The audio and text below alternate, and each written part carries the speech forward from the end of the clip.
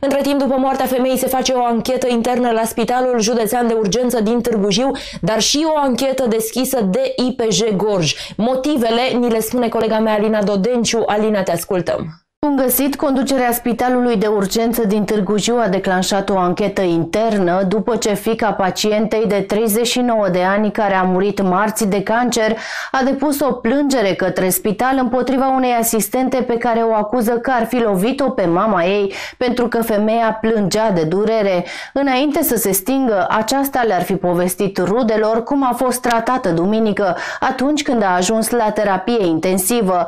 La SJU Târgu Jiu, femeia Femeia a spus că nu a primit apă, ba mai mult a fost lovită de o asistentă pentru că plângea din cauza durerilor puternice. Directorul Spitalului Județean de Urgență din Târgu Jiu, Dumitru Vienescu, a început o anchetă în acest caz. Tânăra s-a întors duminică din Anglia, unde este studentă și trebuie să respecte regula de izolare, iar după ce va ieși din izolare, aceasta vrea să afle cine este asistenta care i-a agresat mama și poliția Poliția s-a sesizat în acest caz și face cercetări.